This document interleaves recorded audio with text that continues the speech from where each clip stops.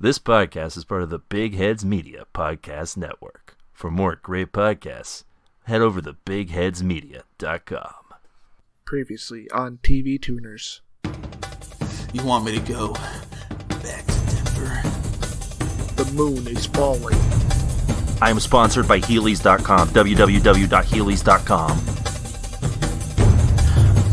told them about the altitude up here. I told them about the oxygen. I told them, man. I have to go to clown college? Yeah, I'm sorry about this, but uh, gonna have to give you a little uh, death medicine. Sorry about that. And now, TV Tuners continues.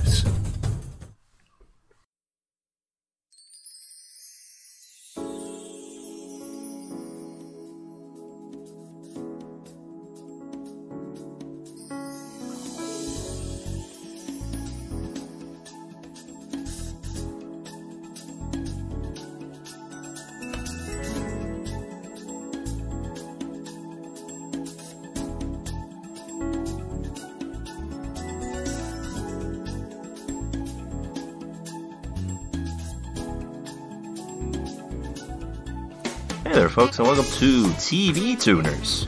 It's a television podcast for the true fanatics. It's a weekly dive in the latest in TV news and reviews. I'm your host, Swanson. With me, as always, is my co host and uh, son who had to kill his dad, Stairmaster. Hey, Marone! I can't believe it. He was he was Irish. Oh. Ah, ta ta ta ta ta ta ta. There you go. That's I'll come in like a it. bit of patricide. Wait, is he? Wasn't he with the Italian? Yeah, but Hell. he he he turned his he was Irish and he turned on his dad. He got corrupted. Oh, that. Hence the lack of fealty. Yeah. Man, the whole episode just made sense to me, and we just spoiled it within five seconds. Sorry about that, fellas. And uh, that voice you're hearing, of course, is our uh, other our guest co-host this week, and uh, guy trying to sell credit cards, Geo. Uh, yeah, man. People want to spend that money they don't have, and, and they will, and that's how credit cards work. I think. I don't think it'll ever work. I'm a banker. Well, let's test it out by just giving it to random drug addicts and homeless people and see if they fall into debt. We would never do that here at Good Bank Inc. It was considering it though, like the, the camera zoomed in. It did like that th- Hitchcock thing for a bit. I He think the implication was that the only reason he didn't he gave the like big moral speech was because it was two black guys in front of him. Yes. it. Obviously, it wasn't. Fuck that guy. But I think the camera zoom was like a bit of film working that suggested he was actually he actually realized, well, this is some good shit. Yeah, actually. he's gonna Should I- plagiarize it. Yeah. Yeah. Oh yeah. Fuck that guy double. But I'm just saying. I'm saying that was some film working that I noticed. Yes. And we'll we'll talk about the history of credit cards a little later in the program because I I did do some research on it and I think Stair did as well. Education time. Come on. Dude, dude, dude. Welcome to TV Tuners, uh, podcast about television and nothing else. Uh, It's Keo an is education. Keo is not present uh, for this week's episode. Uh, he said he was Yeah. good. Yeah, what he was. What happens there? He died. I thought, Yeah. what are you talking about? He died. Well, he, he- kicked a hornet's nest and got stung to death by the hornets. That's what that's what the doctors told us. But the last time I saw Keo, he told me he was going in search of crystal clean water, and then Yeah, but la- that- next thing I know, he was in the hospital with a bunch of hornet stings. yeah, You but the last time I saw him, it said uh, Keo wasn't well. He was still back at the hotel. Also and he that- sent me along as a surrogate host. also that doctor you spoke to was the coroner. oh, okay. Well, he introduced himself as Doctor Coroner, so I was very concerned.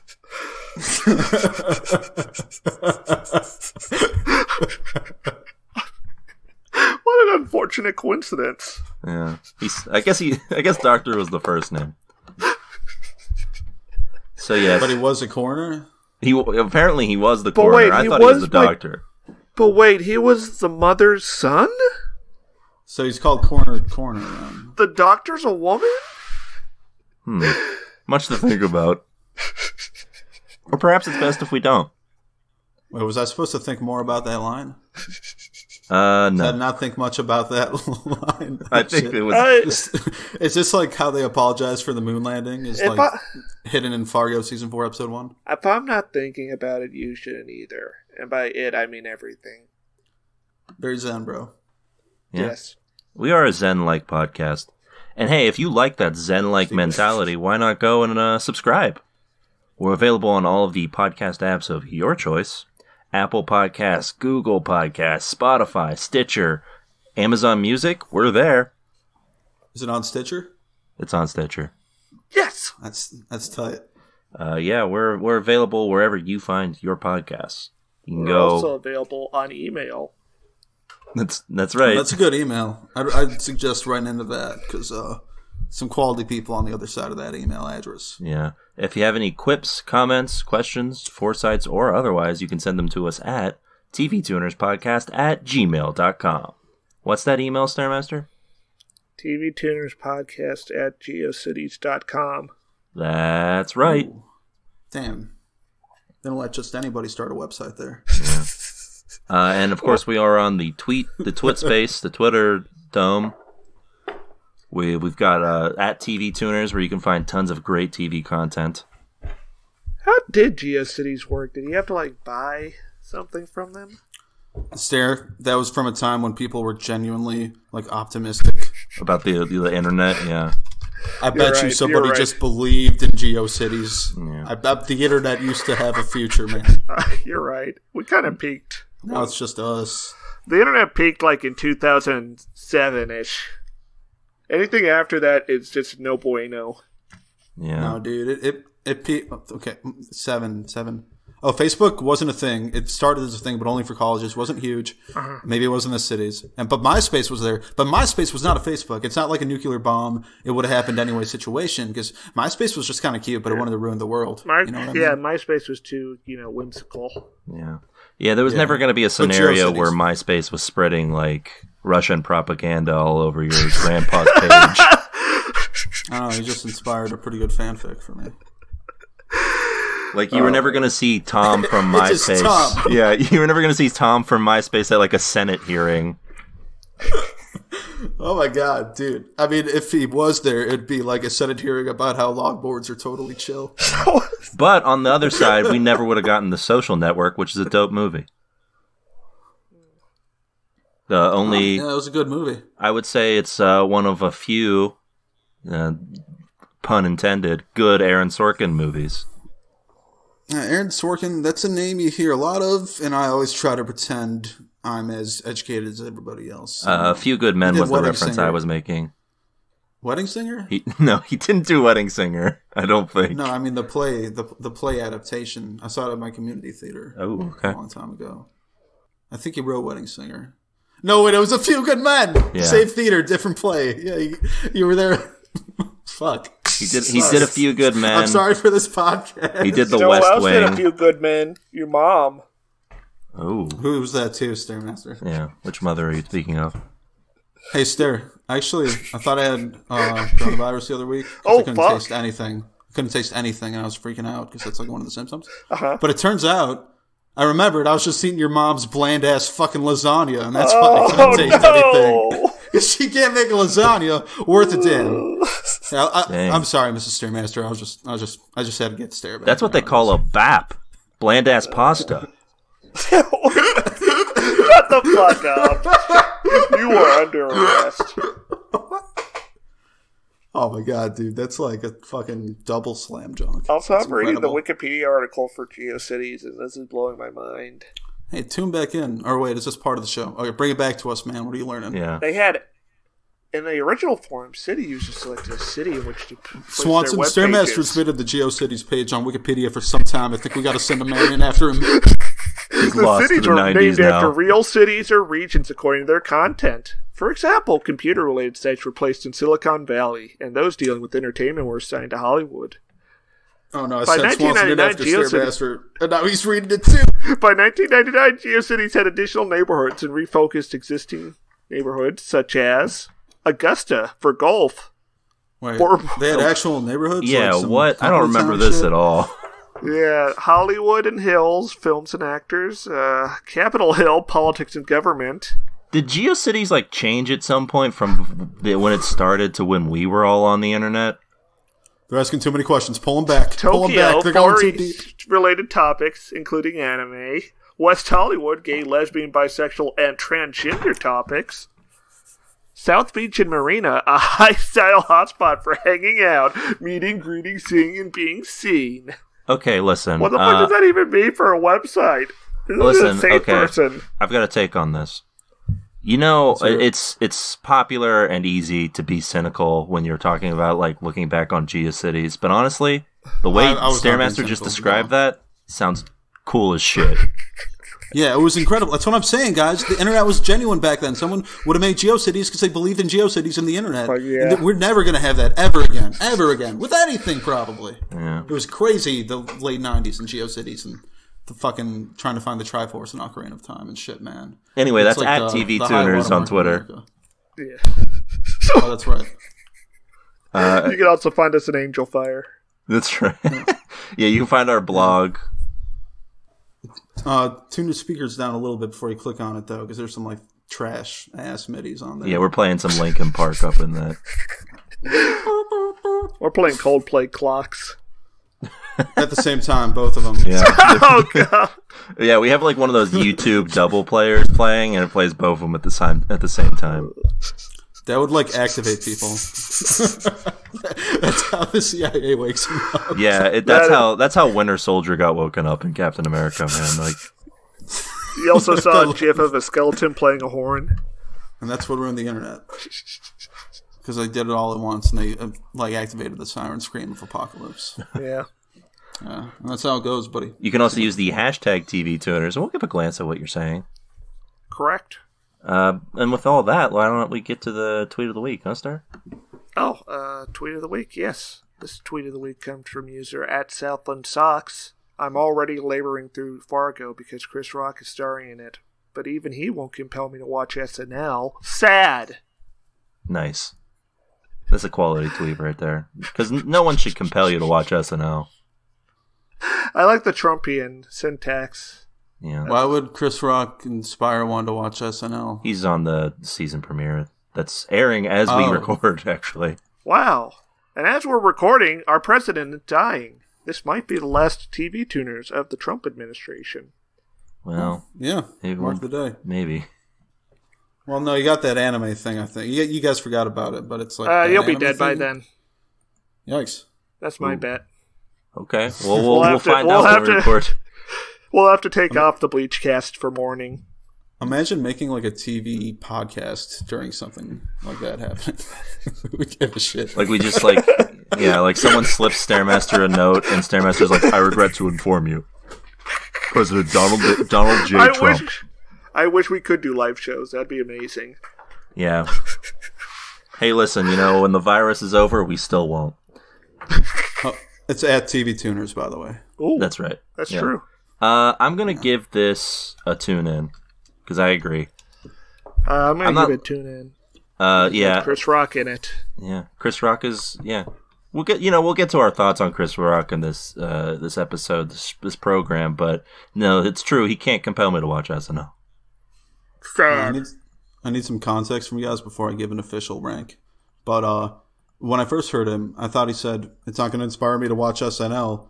Like, but I I was thinking like, who gives a shit? Nobody's going to watch SNL. That's just like a, a pre-ironic dunk or whatever. But is he actually genuinely telling the world that it doesn't make him give a shit about watching SNL? I think or is he like being snarky? You think so? I think he's saying. I gotta give it him like the tune in. I gotta give him the tune in because that's genuine. yeah. It's genuine. That's from the heart. I think, Tune being, in, baby. I think that's genuine right there. I think it's closer to Yeah. the heart. Yeah. It's closer to the heart, dude. you just started listening to Rush last week, Yes. man. Dude, you you are working it through the seventies, my man. Oh, love love to hear it. Let's just hope Stern never like- gets to the Eagles. Rush, God bless the Eagles, but Rush number one band to have while playing Dungeons and Dragons. It's just to have it on in the background. I mean, That's true. That's good. yeah. Yeah. So that's a tune in. Congratulations, Southland Sox. Now, Stern, did you pick this guy because he has one of the names of your cats? no, I didn't even think of that until I until you said that. Well, double tune in. That's the highest rank a twit ever got, huh? Yeah. It'll never happen again. Yeah. Shit, they broke the fucking meter because it got a four out of three. Like you can't even read the meter anymore for the next one. No, yeah. Yeah. We might as well just never do the segment ever again. Like your grandpa's ah. like holding a wrench and he looks down. He's like, "There's nothing I can do about Oh, it." that'd be very convenient if we stopped doing that. Yeah. A little too convenient. Why don't you start doing Instagram of the week, or you just ask a motherfucker like, open your window. Well, if I did Be like, "Hey, Instagram of the week, it would just be random hot chicks. Yeah. Also, we would have to have an Instagram. I don't want to hear it Stairmaster like describing hot chicks. no offense, my man. I don't think- that's not it. I don't know if I want to listen to that. Swanson's Lots like of heavy breathing. Swanson's like that. I just wanted to start a TV podcast. Stare, just Stairmaster being like, this lady. She's got big boobs. They're round. I'd be like, Stairmaster, this is a uh, this is like a fighter jet someone drew as a lady. Do not put that in the show notes. Well, if it was a train that someone drew as a lady, stand stand Well- back.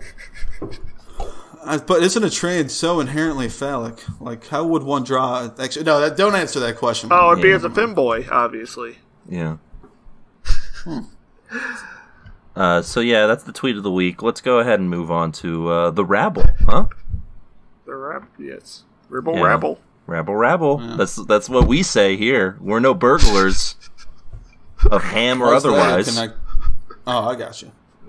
Um, uh, yeah. So the rabble here. This is where we talk about. Are you saying you wanted to steal a ham though? Because like, I'm sorry, that's some pretty wimp shit. If you wanted to steal a ham, I don't know. I, I feel like whoever has a ham is usually gonna like eat it. What if someone left it on like an open window sill to cool, and you were walking by? Ooh, I yeah, would have steal to. that. I would have to steal that. Yeah. Like it's we are- obvious. I mean, in this day and age, that'd be like a sign from God. It's like Yeah. ham, We're not only- ham, my Yeah. son. because Oh, how man, often? Yes. You just turned it around on me, man. You're right. You're absolutely right. Yeah, because no one's putting their stuff out to cool on this on the windowsill anymore. So it's a trap. It might be. That's the that's the problem. that's the problem. You know, you gotta be careful. like- it might be a trap. Like someone's gonna Yeah, I hunt you for sport if you do that. Like Yeah. surviving the game. Ah, yes, he has taken the ham. The game begins. Gary Busey, Gary Busey steps in. It's like, listen, that ham contained a tracking chip. and we You get, just ate you just ate that tracking ham. now we're gonna hunt you down Why Gary Busey, or is it only because I just laughed at that part? because that's from surviving the game. Yeah. Yeah, he he was in surviving, Surviving the, the game, game. with Ice Ice Cube. was Ice was that T. the documentary about spending a year on tour with No. Chicago rapper The Game? No, Oh, okay. no. It was- Perish I fool. must have been watching like YouTube or something. It was the most dangerous game, but for some reason Gary Busey's hunting Ice T. No, that's the thing. Gary Busey's the first guy to go in that movie. Oh, that's right. Yeah, Whoa! It's uh, it's uh, was it the guy from Blade Runner? Rutger Hauer. Yeah, Rutger Hauer's the bad guy of the film. All right, I guess keep that's pretty spoiling cool. movies like that, they're gonna call the fucking Denver PD on us, bros. That's what they're like around here in Denver. yeah, Geo, how's it feel to be uh, uh coming into Denver? Oh, you know, I, I made sure to show up yesterday to acclimate. Yeah, of the you enjoyed the. Mile High Yeah, actually, City. I don't know about that. I don't know. Your friend kind of seems like a cop, Swanson. I'm liking it here, man. The mountains are beautiful. The uh, local grocery store has an excellent like raspberry donut. It's even though it's a chain grocery store. Yeah, it's the one you don't really grocery store that. in Denver. No, it's Oh. King Soopers, man. They Yeah. got that spicy fried chicken. Like most grocery stores, any grocery store worth a damn has delicious fried chicken, obviously. Oh, but King Soopers don't. goes a steps. Whoa. Well, is it worth a damn then? Because that's the fucking No. defining part of what I just said. So, what grocery store worth a damn does not have good fried chicken, Stairmaster? Uh, I think like Butera. I don't know what the fuck a Butera is, but they ain't worth a damn if they Yeah, don't I have don't good know. fried chicken. I don't know about that. I can I, I can tell you on the East Coast, or at least in Pennsylvania, uh, we got we we had uh, that giant eagle. They got the, they got a good fried chicken. Nice past tense catch. I, I noticed. and yeah, uh, Pennsylvania here is very proud of their gas station food, which is like a weird sentence. But Wait, Yeah. so you eat eagle at? You eat eagle in Pennsylvania? Is that what's going on here? Eat eagle? what What? do they call it? Yeah, what the fuck? We eat eagle? No, this is the, the grocery store chain is just called Giant Eagle. Oh. They Oh, eat eagles out in Pennsylvania, I tell you. Whole eagles. Someone's got to stop 'em. Stairmaster's like, man, I got to bring this up on the podcast why- to spread awareness. That's why they're going Animal extinct. All the. Pennsylvanians are just fucking eating eagles. Wait, hey, uh, is it cool? Is it cool if I vape in here though? No. Maybe. No.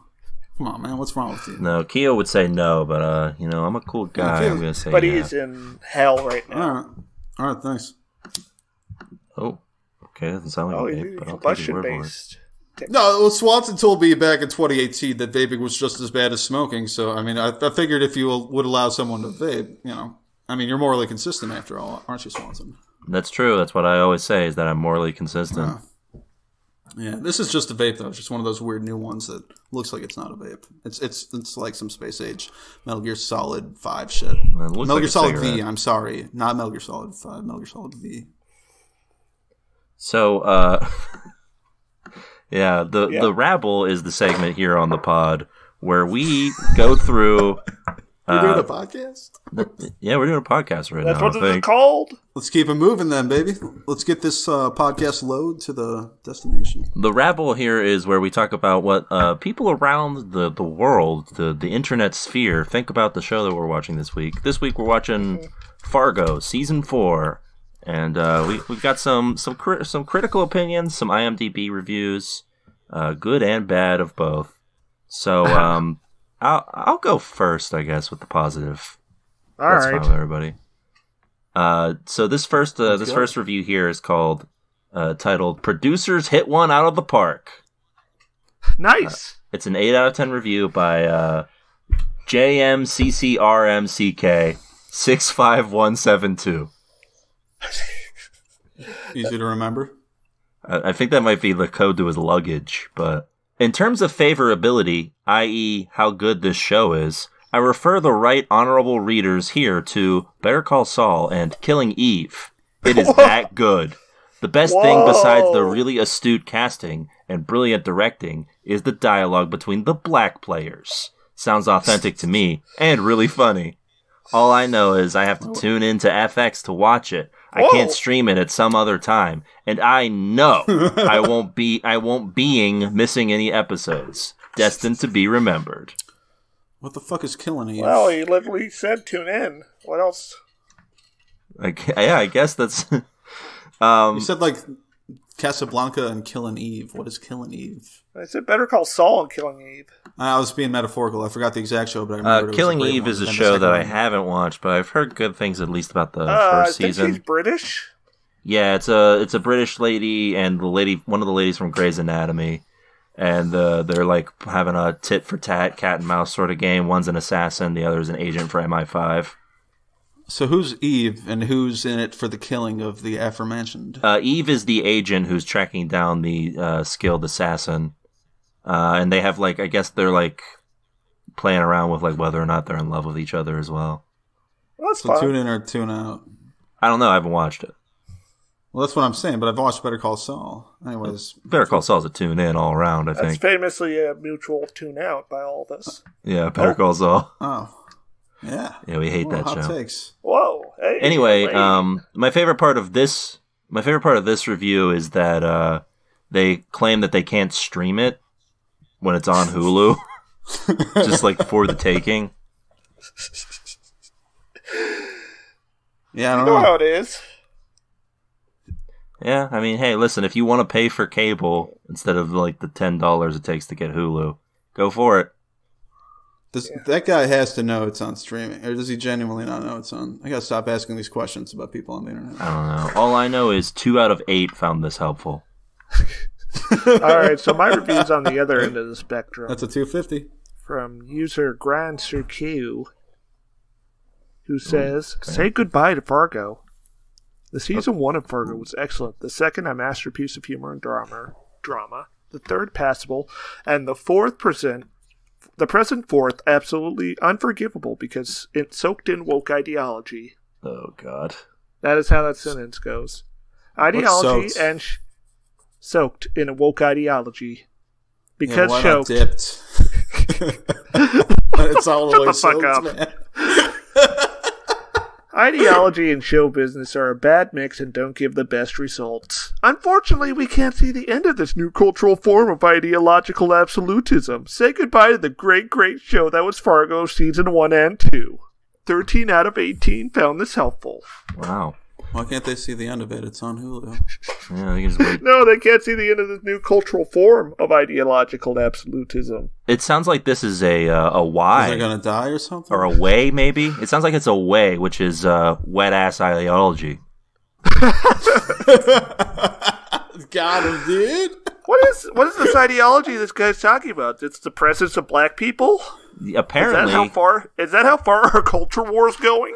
I guess What that's the fuck? so. We've um recently on the pod, I think. Four, well, this is the fifth time now. The I think four out of the five most recent shows have all had like Had prominent black or like uh like female leads. Is there And always that shitty internet guy saying that shit? yeah, and all of them have this kind of shit in their show. IMDb Whoa. reviews.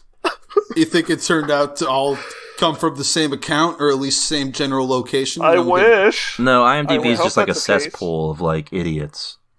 Is it actually Stairmaster putting on a mustache and just putting No, these bad I'm takes not- out there so you guys have podcast material? I cannot be racist. It's true.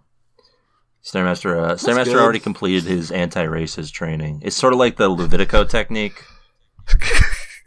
Only he just watches like, Kankata. yeah, he just watches like black cinema with his eyes What's the forced social- open. What's the socialist ideology within Fargo season four, episode one? I doubt it's just the presence of black people they're talking about. Yeah, I mean, everyone's kind of thriving within a capitalistic system or whatever. If anything, an unregulated one thus far. yeah. Maybe the real woke ideology for this one that they think is that they're treating Italians like they're like They're human. yeah. That's what they think. They Oh, don't I like can agree that. with that. I can agree with complaining about that. Well, I cannot agree with that, but I guess you can't be Well, racist according to you. So I don't know what I'll say about it. Yeah, that's true. Well, if you're on TV tuners, you can't be racist no matter what you say. That's the Like, TV because you physically guarantee. can, or because something horrible will happen. The universe will rewrite itself. Oh shit! Look, if you type your password in, it spells it out.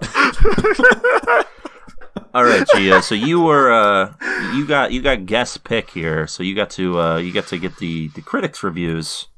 Uh, the critics little blurbs on Rotten Tomatoes. What uh, what do you got for us? Oh, thank you, Swanson. It's an honor.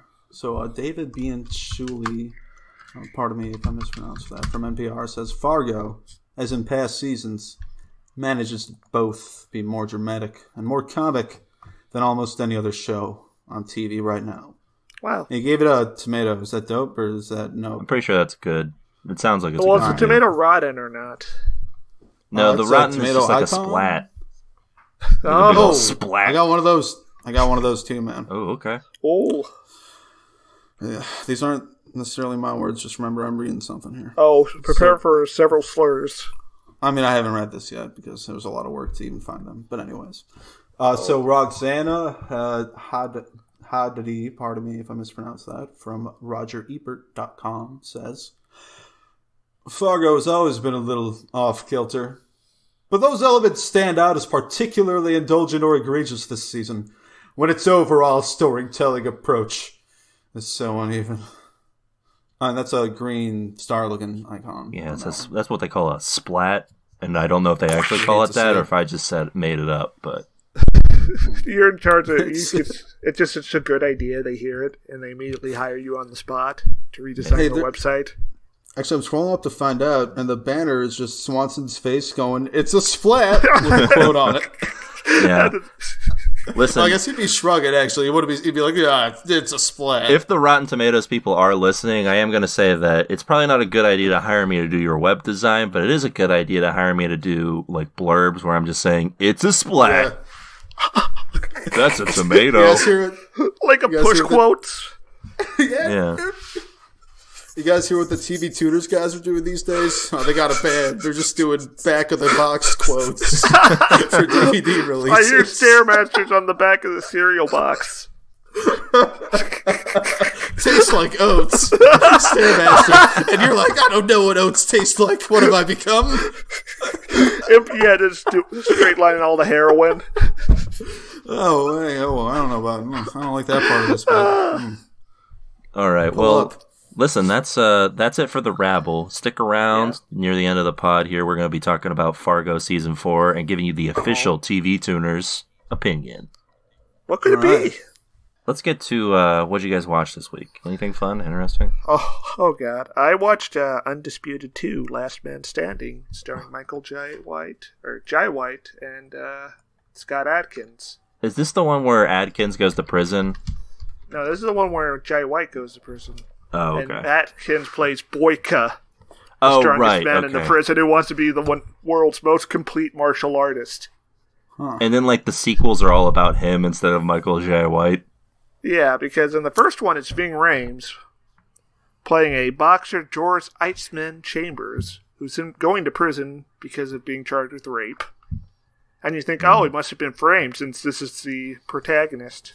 But no, then you get to see a testimony from the victim. Uh, of talking to the film audience in this weird dreamlike state. And then and then you realize that that uh, Wesley Snipes, playing the prisoner who's already the boxing champ at the prison, is the actual protagonist. And then we get to see him murdering a guy and his wife for having an affair on him. Have you been describing the same movie continuously this whole time? No, I was talking about Undisputed One.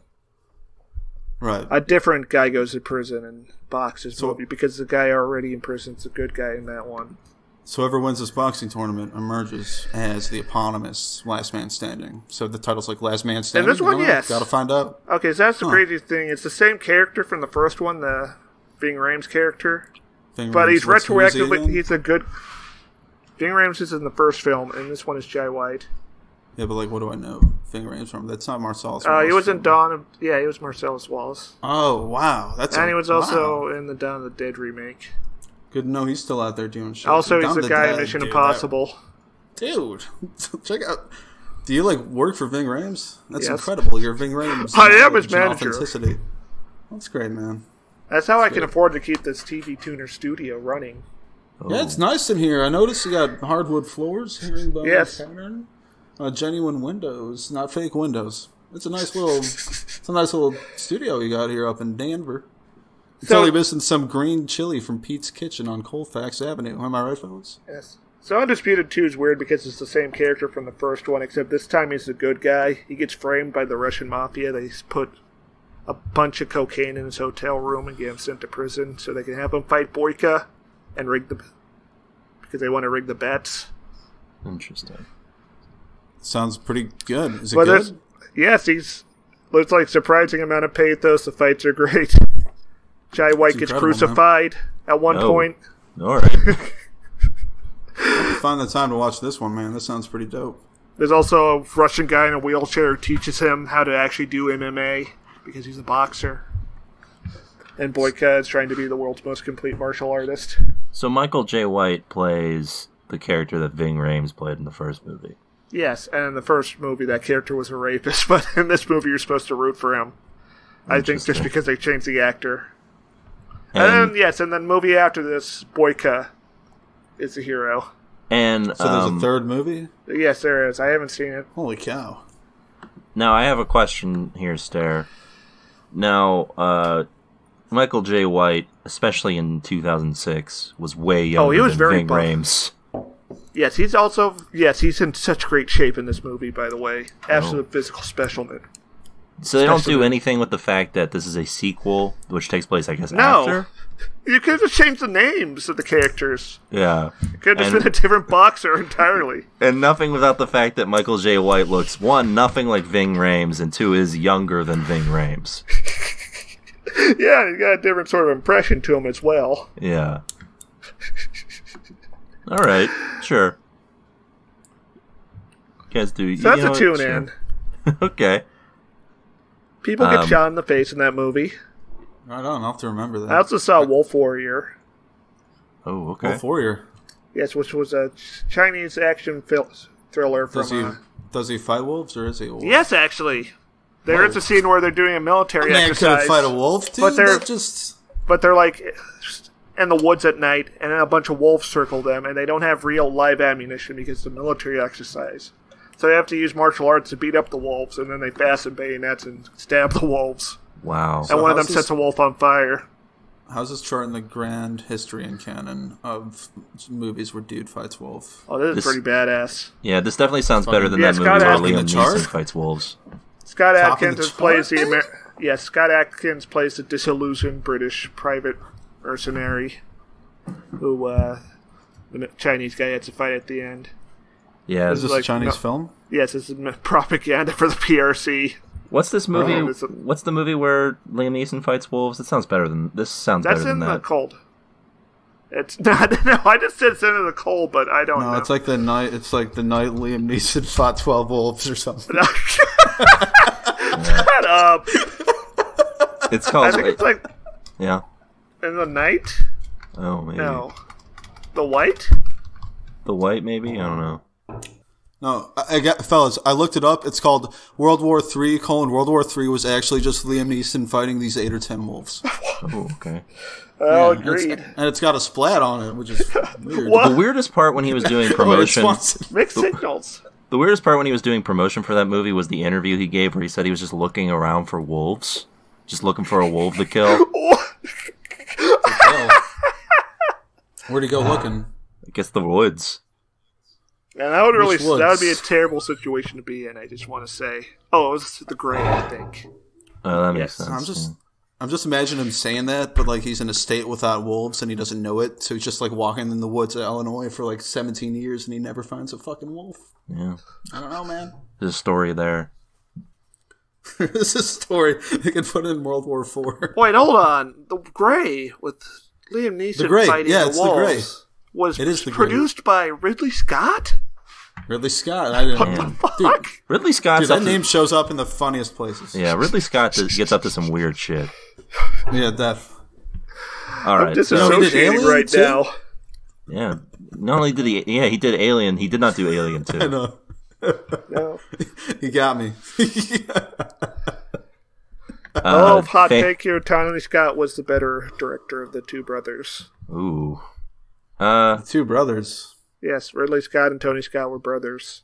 What's Tony Tony- Scott done? He was the guy Is who that- directed Did he uh, did a Top Gun. Schwarzenegger Mars movie? No, he directed Top Gun. Uh, Top Gun, like legit good because I haven't Yes? seen it. But Top Gun's like- alright.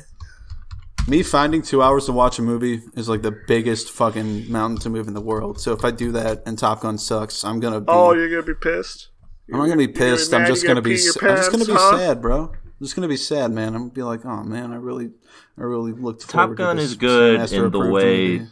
that Point Break is good, which is that you have to understand going in that you need to be on the same wavelength as this film. Oh, he directed Crimson Tide, What's that? What's The that? Last Boy Scout, Oh, the Last Boy Scout. Okay.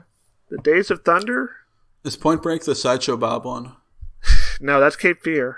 Yeah. Cape Fear. Why do I mix those names up? I don't know either. Point Cape. Point Break is uh, the one with Johnny Utah.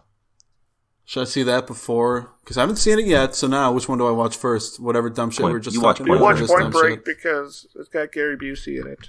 Yeah. What were we comparing it to? I don't know. Keep moving, boys. This truck's got to keep moving. The podcast. Oh, you're now. comparing it to Cape Fear. Oh, so Cape Cape Fear, Top Gun. Which first? I don't. What does Cape Fear have to do with anything? Because you said I should fucking watch Top Gun, and now you're saying I should fucking watch Cape Fear. I never said Jesus, that. I can only watch one fucking movie at once. Watch Point. Go watch Point Break. Point Cape Fe- Point Break. Shit. Point Break. I'll watch one of them. I'll watch Point Break or Cape Fear, whichever one I remember to watch. Mm, But Cape Fear has Robert De Niro. Yeah, Love but Robert this, De this has Gary Busey and, Pa- and Patrick Swayze in his like best Okay. film role. Have you guys have you guys seen like that first Scorsese De Niro movie? It was like it's kind of low budget, but it's like awesome. I think it was his first feature film. No, No, Fuck. I can't remember, Yes. but probably God not. damn it. listen, It's pretty good. I just watched it for the first time. listen. As far as I'm concerned, Scorsese's first film was Taxi Driver. As far as I'm concerned, I'm just like Keanu. That's an excellent film, dude. I'm just like Keanu shooting the gun in the air right now. Ah! He shot a gun in air. Yes, it's fairly iconic. You mean stopping the bullets? No, no, no. He shoots a gun into the air because he can't bring himself to kill the guy he's pursuing. Oh, I thought you were still talking about the Matrix. No. You know, I kind of feel like uh, Travis Bickle sometimes when I'm doing the, t- hosting gig here in TV Tuners Oh, because dear. you never know what you're gonna get with uh, with the with the co-host here on TV Tuners. Sometimes I gotta clean up the blood. Sometimes I gotta clean up the bad bits. Uh, Sorry. old man Swanson freaked out. All right, I'll keep it on track. Anyway, uh, yeah, I, uh, I've uh, I've been watching Lovecraft Country, getting back into that.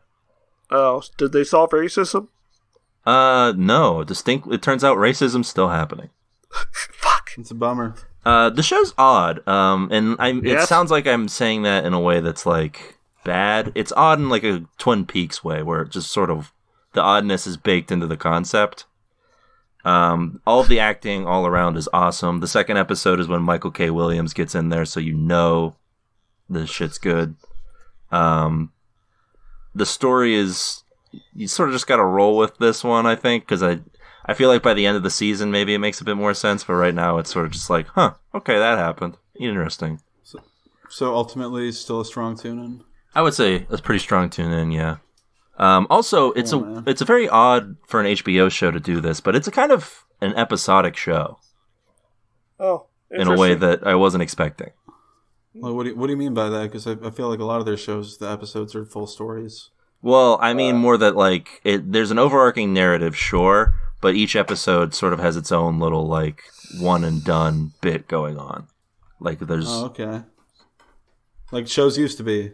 Yeah, exactly. I times, gotcha, I got before you the now. disaster. So it's so it's like shows used to be, but HBO shows are almost never like that. Okay, I got you. No, you're totally right. Yeah, I haven't noticed that. So yeah, They're more like books or something. something interesting to think about. What should Yeah. think about? Best wishes. Anything uh, anything you watched that you want to talk about, Geo? Uh, based on your guys's um, what is it, 2018 pick of the year? I watched The Boys, and I was pretty amazed. It was a pretty great show. honestly. Boys? I'm like, The boys. The Boys. I'm like, give me a good one, guys. How'd you used to The do it? boys. That's tight. No, it's a pretty good show. I thought it was amazing, and then I thought it was pretty good. I don't know. I thought like season one was incredible, and then the closing was kind of sloppy, and now it's kind of season two, and it's still pretty good. But I also don't care, so I'm glad when oh. I'll be caught up. Okay. Yeah. But it was really fucking incredible for like a lot of season one. Wait. So when did what's the drop off? I don't know, honestly.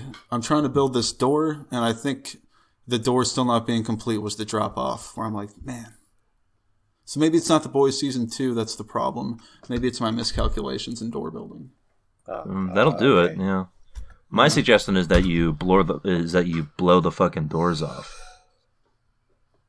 That's, That's not going to get them to a deer square within a frame. That's the name of the episode of an episode on the boys season two. I, it Holy might just shit, be Swanson! It might just You be blow it. the doors off. I don't remember.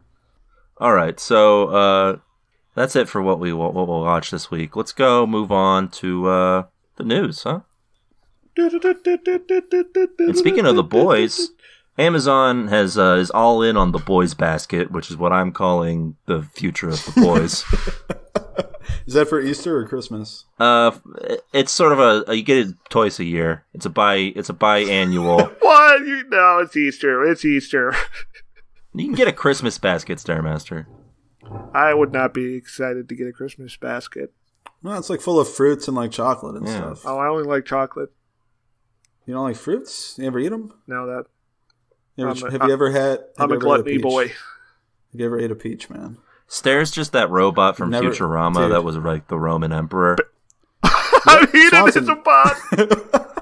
You got to take this boy out to the King Soopers and get him some peaches. Just feed me an apple. Yeah. My apples are good, but there's a whole world beyond them, my friend.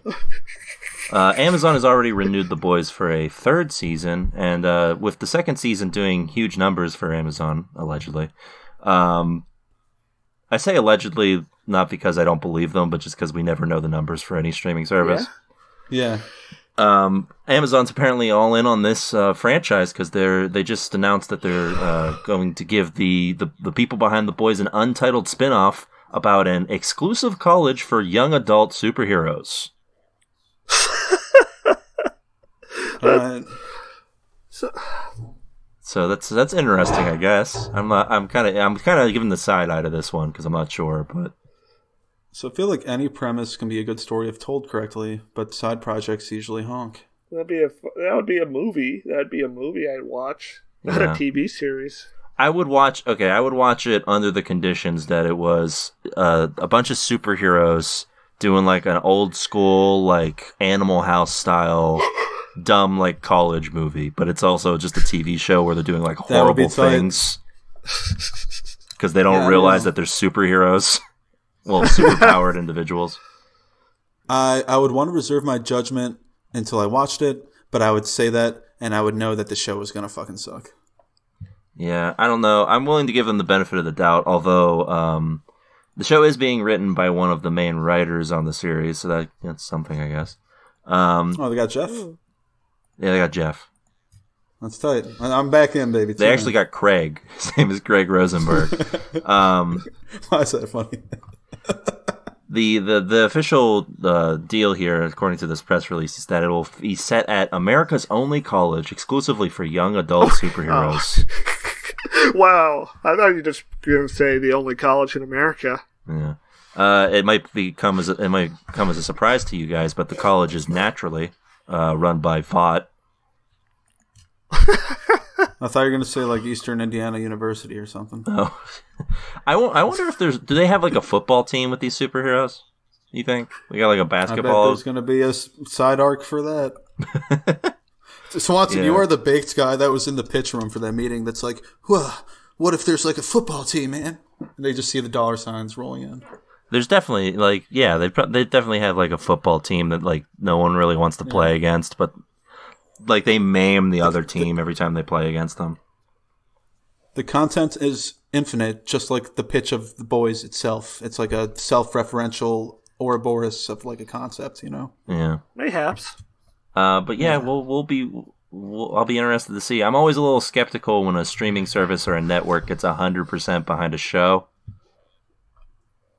You gotta uh, push those chips in sometimes, man. Yeah, we'll see. You gotta push them in. That's a Um, lot to win. speaking of people who, spe- speaking of the opposite of hundred percent hundred percent behind a show, let's talk about cops.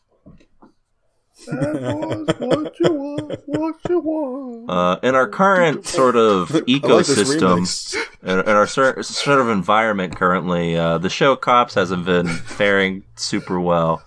Uh, it turns out it only took us 20 years of it being on the air before we realized that maybe it set a bad example.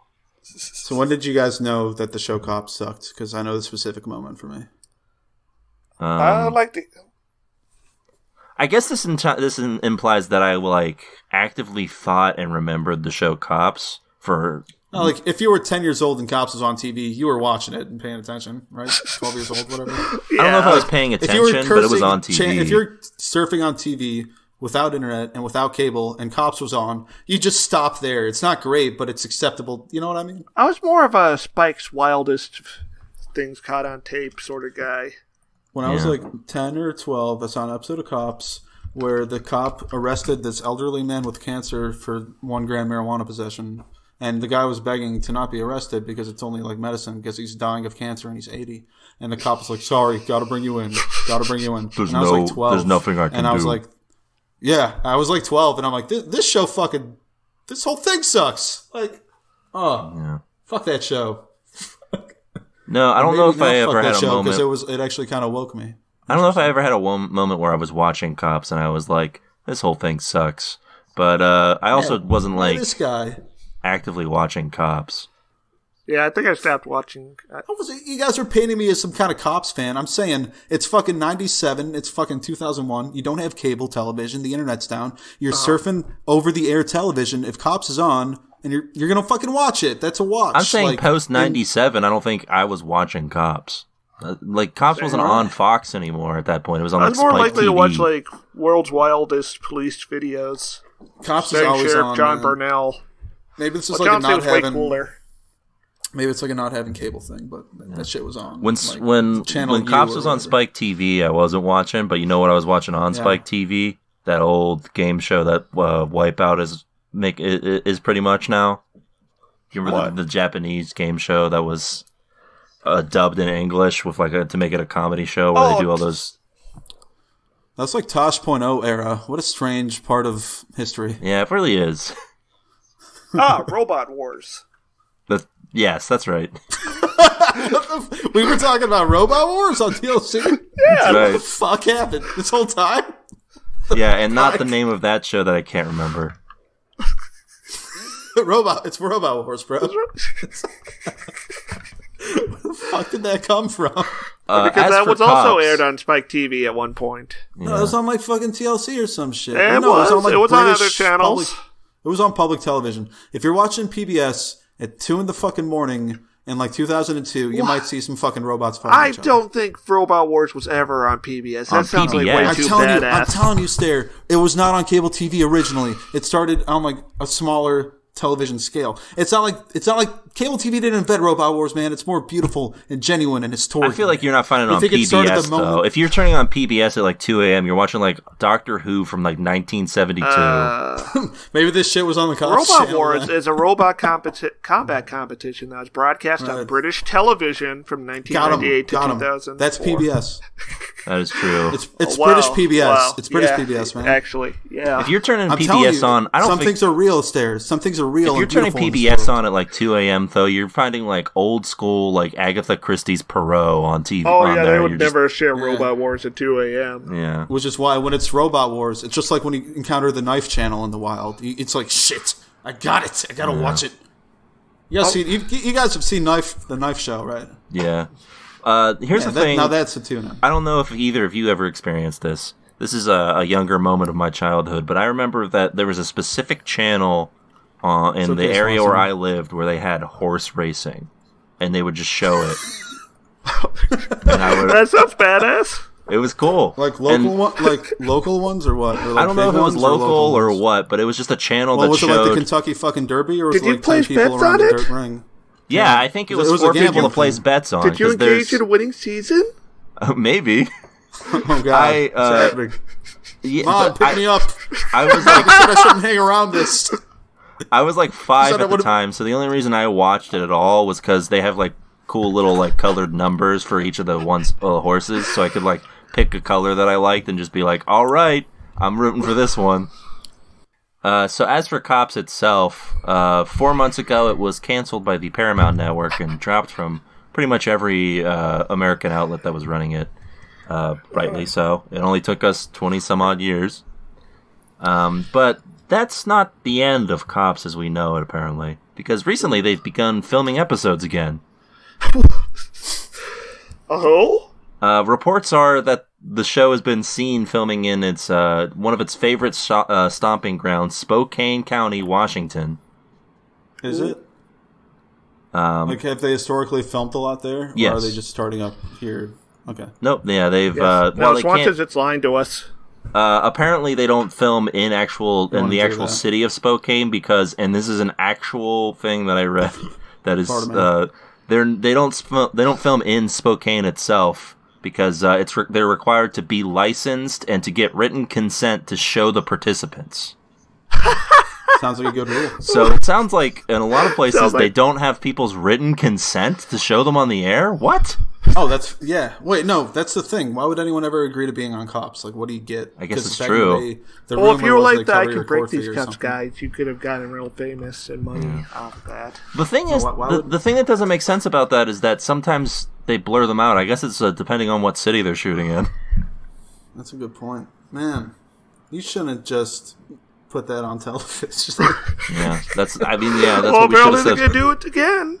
Yeah. Oh man, But are they Uh, gonna uh, put it on American television? No, it will not be anywhere stateside. Apparently, um, Langley Productions, the studio that films the series, and uh, I'm pretty sure that's it. That's only the the only thing they film.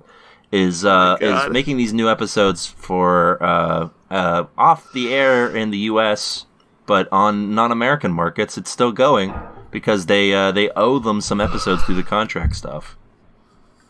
Swanson, I gotta know what countries. Uh, I don't know if I have. I don't have like a list of the other. I don't know if it would be right for Swanson to say. I just wonder clearly if want to keep of this a secret from Americans. Is it one of those super wealthy ones with a few people, or is it You know what I mean? I Is it- think Oh, that'd this be- like a- um, That'd to- be hilarious if it was Liechtenstein. I think that there are definitely other nations that would enjoy watching the hilarity of Oh, the U.S. Swanson saying police Israel. Swanson saying Israel confirmed. Remember when like America wasn't presented like this to the world? I don't because this because cops has been running since like 1990. So, but not in Lexington. well, maybe I don't know. I'm sorry, Stair. I fumbled your call back. It's fine. Uh, apparently, the show is being is uh, internationally in the UK, Portugal, Yeah. Brazil, Called in the UK. Colombia, Australia, Japan, India, Oh Norway, no! Sweden, Denmark, and of course Canada. I don't think Hey. the Japanese should be watching cops. They're You know so what they call? Oh, I'm sorry. I'm sorry. Keep going with your bit, dude. Keep trucking. I already forgot what it was. You, you threw me off. I was gonna say in France they call it a cops with cheese. Cops Oh, with like cheese. Pulp That's- Fiction. I'll be damned.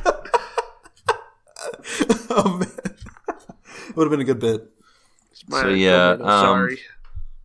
Whether or not, I guess they're just gonna show show all that and uh, let uh, let those countries sort of just laugh at the hilarity of the the policing here and move on. Can you imagine if they filmed an episode at a riot?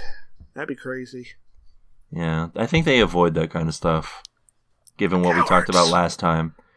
Uh, which Geo, if you don't remember, uh, well, you weren't here, but Yeah. if you don't, if you if you haven't haven't heard us talk about cops last time, I they the man. they Oh. deliberately leave out uh, the cops doing like clearly suspect illegal shit. Yeah, so No. the media launders the violence of the police. Who would have thunk it? I mean, of course they do, but also that is like triple super fucked up. Yeah. Yeah. Yeah, like a lot of things in this. Like the show has been on the air long enough that there are definitely tapes of people being shot by the police that they have. Oh yeah, you mean it's been on for a week? yeah. Hey yo. Ooh, Got 'em. dang. Yeah. Uh, well, you know what? That's that is it for the news. So why don't we take a quick second, get a break going here, and listen to some good ads. I made it up here to the mountains of Denver, and I, I hope I can find Stairmaster here. He's he's taking Huh? all the my bookie money Huh? Oh, it's. Swanson. Stairmaster. Ah, ah. I finally found you. And now my winning season returns. At my bookie. Does this mean you're doubling your first deposit? Yeah, you better believe it. It's gonna. It means I'm gonna be sur- doing Survivor, Super Contest, and Squares. You're gonna celebrate the NFL season with my money? That's right. At my bookie. Also, I'm gonna shoot you with this gun. Ah, but what if I told you you have a chance at 100,000 in cash prizes? All you have to do is pick five NFL games against the spread. Well, I would say I'd have to sign up now and make my first deposit to get a dollar for dollar match. and grab myself a free entry into the famed My Bookie Super Contest. But you'd never give me the money. The best part is, my bookie has thousands of bets to choose from from the full NFL slate and NBA playoffs. Look! Look! Look for a few more seconds while I run away. Wow, from live betting the championship futures? Jeez, it's like every play I could make, I could want to make is waiting for me. Hey, You- Stairmaster, where are you going? Get back here! I'm gonna use promo code TV Tuners and double my first deposit. It's a no-brainer, brainer, brainer. Looks like his winning season's beginning today. At my bookie. I'm on to you, Stare! Haha, great ad. That was awful. I hate well, myself. Sorry guys, I passed out. I think it's because of the oxygen up here. Oh. Oh yeah, sometimes the uh, the oxygen levels are a little rough. You gotta. That's why we have this little breathing mask. We sort of look like we're from the movie Tenet in theaters now. Do not watch. Also, Oh, you the pandemic's to. over, so pass it this way, man. Let me put that mask on my face that you have previously put on your face instead of Caster's face. Ugh. That's what they do in Tenet too. Yeah. Wow, now I really wish I'd seen that movie. I haven't seen that movie either, and I would encourage no one to go in the theaters and watch it. Don't be a mad oh. person. Oh, the new Nolan movie? Yeah. Yes. What a jackass! I want to see that movie. I'm, obviously, I'm not gonna, but what a fucking jackass, dude! Like, and I love his movies. I know they're basic or whatever, but what a jackass! To do He that. didn't. I don't think he his needed ass. to push for his movie to be delayed to be put in the theaters during a pandemic. Yeah, like, or at least how soon's it gonna be on streaming? Because if he does it within it- a week, I'll be like, "That's cool, Nolan. All right, buddy, you have yours." No, If he doesn't do it for, they- like, 6 they're- months. That's fucked. The company is trying to make as much money as they can, so it's going to be out in theaters for like a long, long time. Until this line falls below this line on the chart. Yeah, He pretty should have much. used that time. He should have used the delay to make his movie actually listenable to, you know, sound engineering. Yeah, there's apparently a bit here where, uh, once again, a Nolan movie has like unintelligible lines of dialogue because of the sound editing. Yeah, Tom remember- Hardy's just like. It It was Dunkirk, Nolan. Yeah. Yeah. Dunkirk had incredible sound design, though. Incredible. Well, I'm you see that assuming- in a Dolby theater. You see it at home, it ain't shit. You see it at home, it ain't shit. But you see it in a real good theater. With I did. I've only seen it in theater. Yeah, I'm, I'm assuming Nolan doesn't I mean, do the sound. the sound editing in his movies. Uh, or it's inconsistent. A lot of his movie parts seem consistent. I don't know, man. Like Inception, I saw that in theaters. The sound design was fucking incredible. The Like, sound bass, design and the like bass. the mixing of the voices, I think, are two different things. Yes, yeah, I guess those voices are muddy sometimes, but that bass be hitting. True. The bass, the bass do be hitting. The- as the kids say, it hit different. I guess I'll forgive voice uh, muddiness if that bass be hitting. So I my won't. bad, fellas. Stairmaster won't. He's coming for you, bro. Speaking of stuff you want to, speaking of stuff that's hitting different, let's go to a Yes. a new segment, or not a new segment. Let's go to a segment near and dear to everybody's hearts. It's Trailer Blazers. Hit the theme, Stare.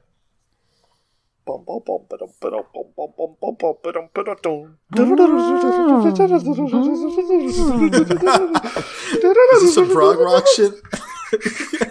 Yeah, this part. Me and Nobody A Stare, likes little their bit. second album. me and Stare are in a jam band.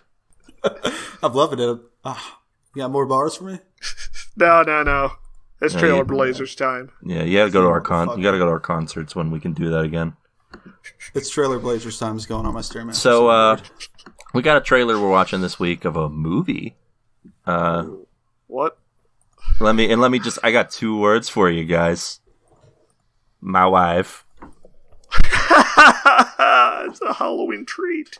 Uh, What? It sounds like 2007 approximately. What are you talking about? yeah, interesting. Uh, so we watched the trailer for Borat 2, which is uh, the what f- 12 years sequel. Or no, yeah, twelve tw- years. Twelve years of Borat. Uh, oh, got. as much as I like that, it was uh, it's uh, 13 years, I think.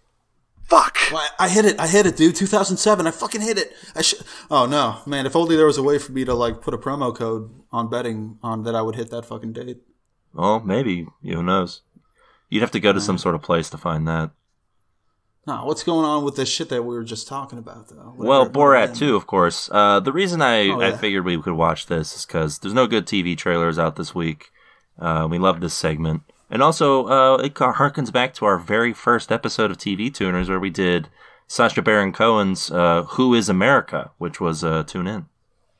So is this going to be your first movie? Our fir- Like, you No. gotta complete this no, we're not gonna watch this on the pod. We're not heathens. Absolutely not. now that's what's made for television. Oh man. Uh, what, Well, I wanted to listen to it, so you would have gave me a week off. what are your thoughts on this trailer? Does this look does this look any good? Uh, it seems a bit incoherent. This seems more like a, a bridge version of the full movie than a Yeah. trailer. Yeah, this is just trailer Uh, is three yeah. minutes, by the way, which is unnecessary. It's too long. It's too long, man. You don't need to show me a bunch of has no- bits from the movie where I, I I know what I'm getting into when I watch Borat 2. Uh, you don't need to convince me to fucking. But do you? Yeah, you actually 100% do. It was cool how he pranked Michael Pence. That's fun. I hope it's more If than he just did like that, wanted that be on the news? Did he do that? he must have, but I don't know how he kept it from that being on the news. Yeah, He what I threatened him. thinking. I guess because he was in a giant Trump suit, it's kind of hard for people to be like, "That was Sacha Baron Cohen." I don't know. Um, there is a fun bit here that I think is interesting, which is that they do acknowledge, of course, that he can't just go around dressed as Borat for the entire movie because people do know him.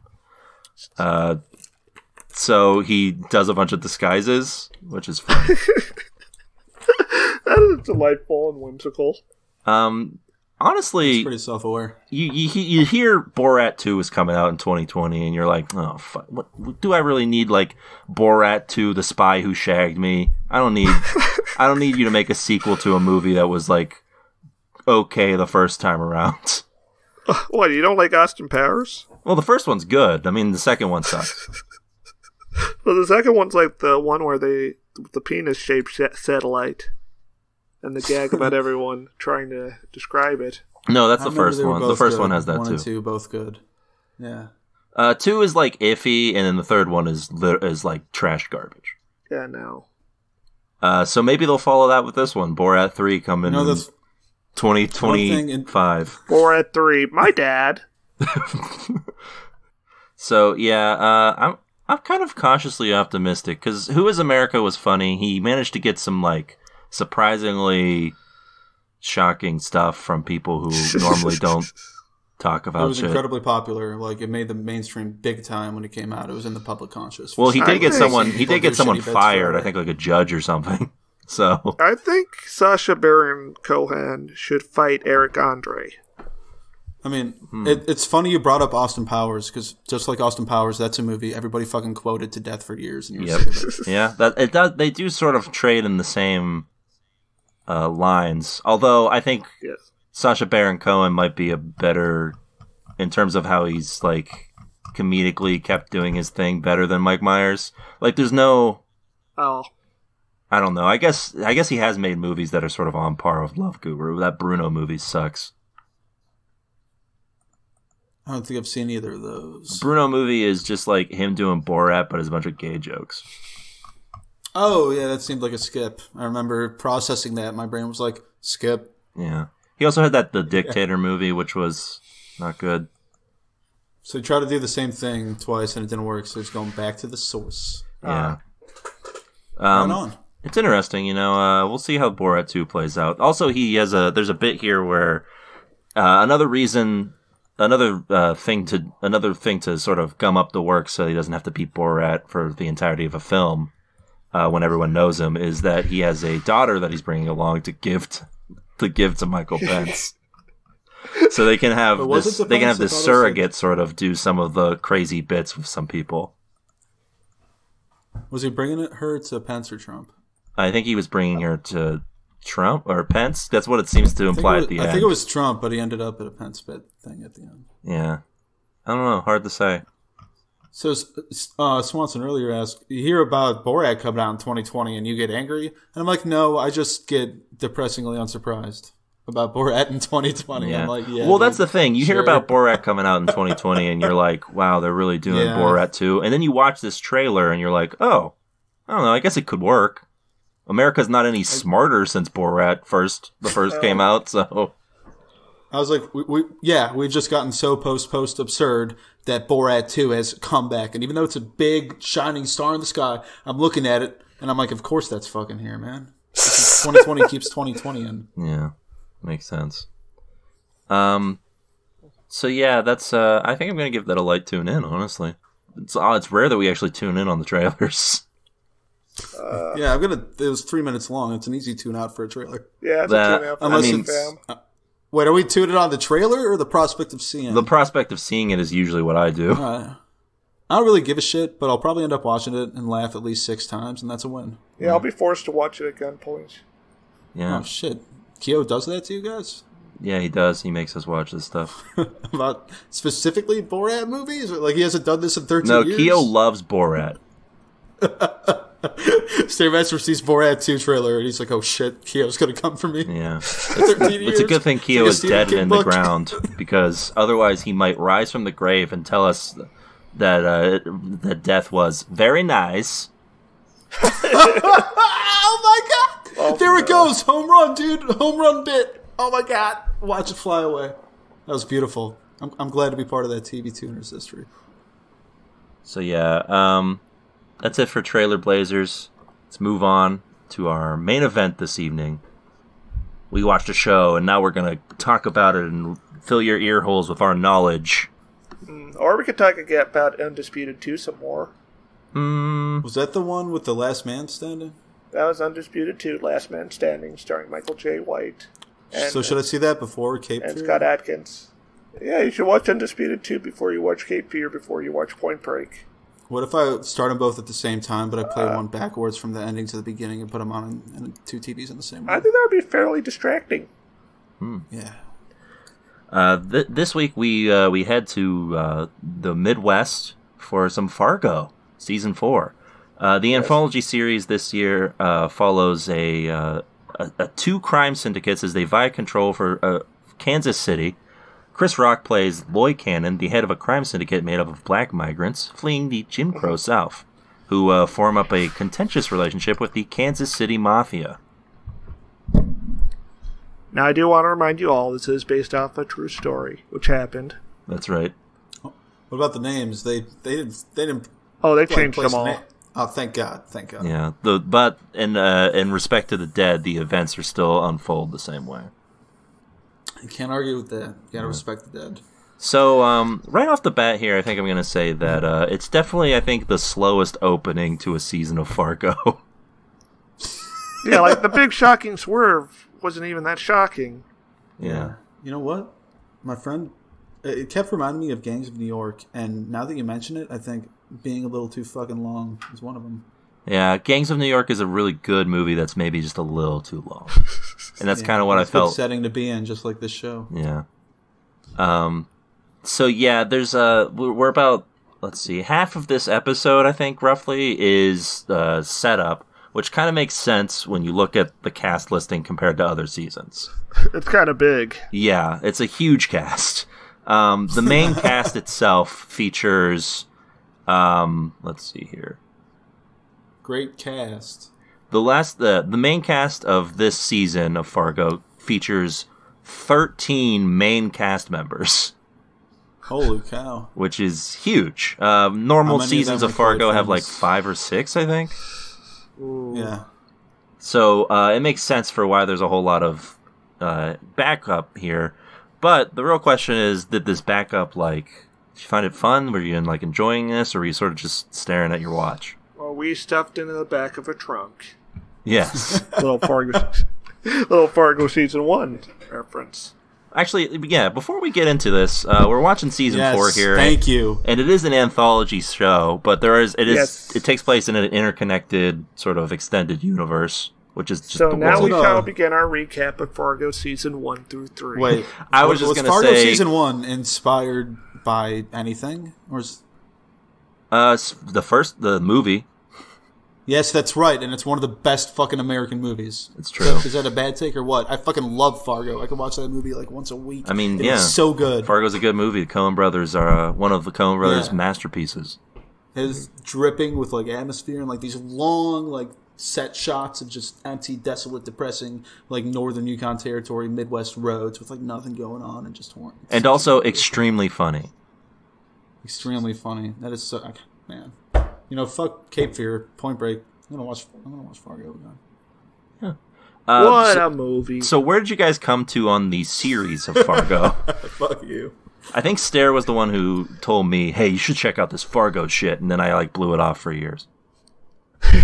yeah, by the time Swanson Same. did do it, I didn't care anymore. Yeah, Yeah, same. I mean, like it's hard to stand in the shadow of that movie, but I did really like season one. Yes, And I then binged that two. like over the span of Yeah. one weekend and Christmas times. But just like I was saying, Fargo, like it, it's so desolate and Yukon territory. Like it could take place on the fucking moon. So in season two is like it's it's still in the Midwest. That's all the same, right? No, very different vibes. Like, and I wasn't there for the vibes because Fargo, at the end of the day, for me, is like a movie about like vibes and atmosphere and setting. And like when, once it loses that, um, I don't care if it's still Midwest wacky. I didn't watch season three. Uh, so is that even more of a drop off point? uh, season I three guess. is a uh, well for me. Season two is really good.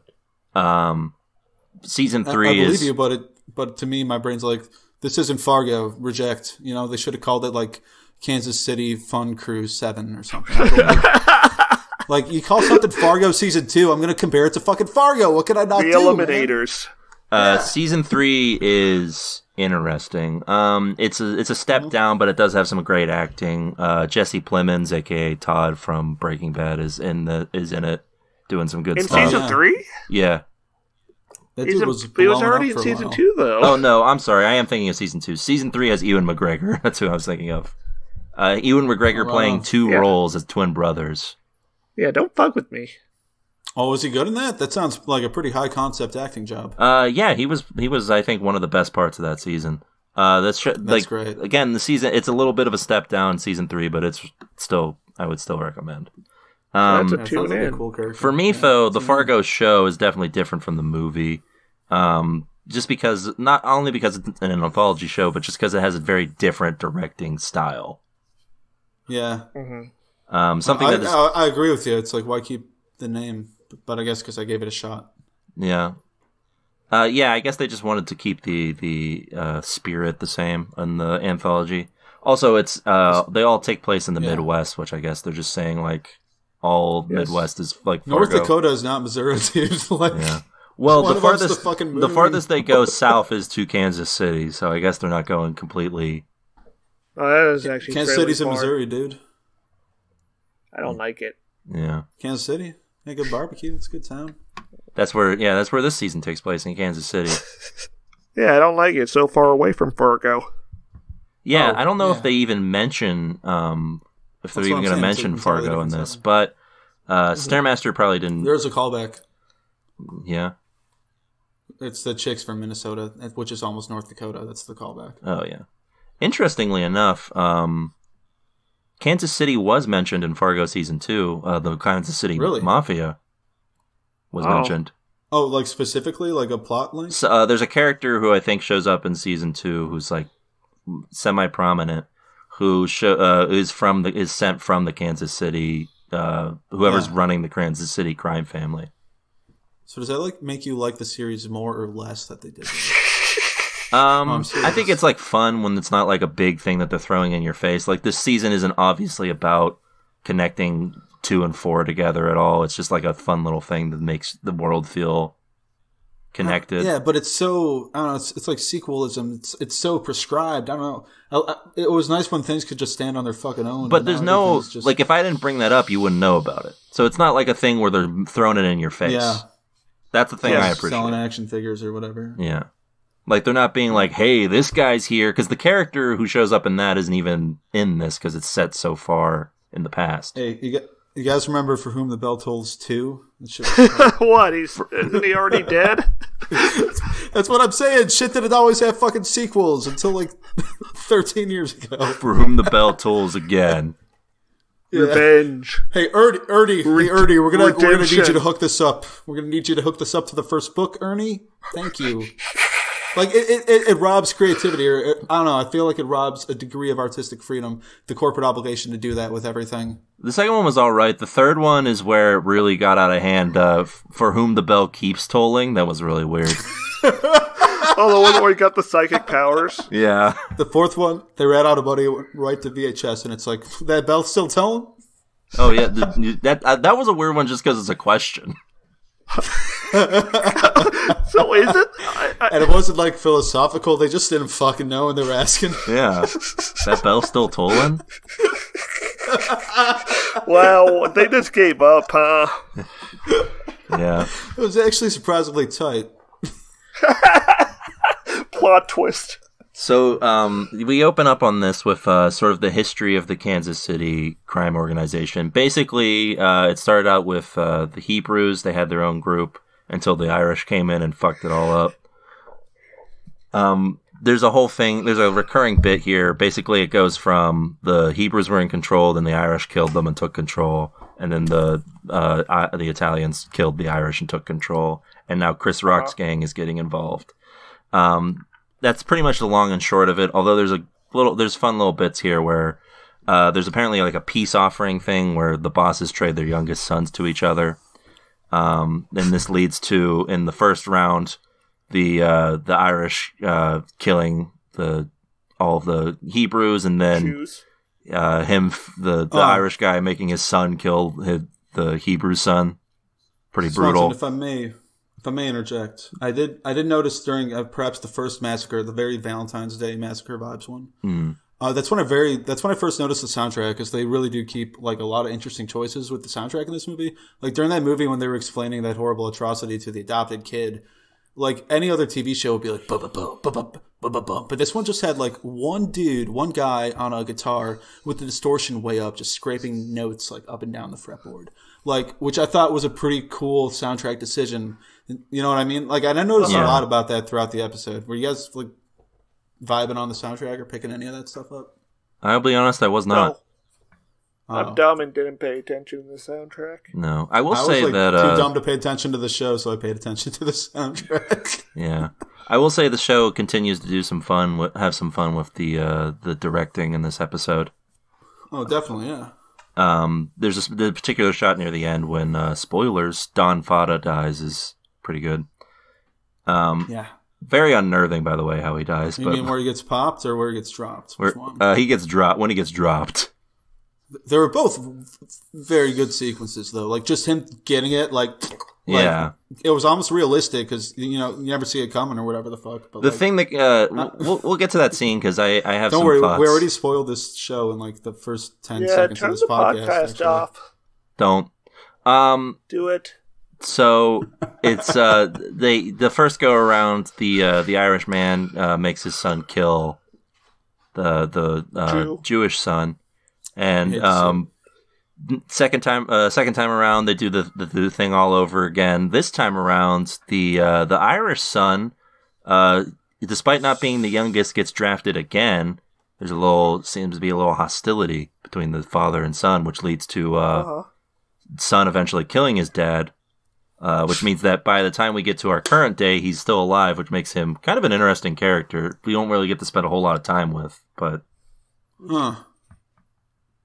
Yeah, I definitely missed a lot of the connections like that because I know they were writing a lot of them, and I missed them a lot. So I'm really glad you spelled that one out for me because I did notice a lot of shit that I didn't notice at first. yeah, uh, in present day, he is the guy who, when he is giving the Italian kid over to Chris Rock's uh, group, he Yeah. takes him over there and is like, "Take care of this kid with your life."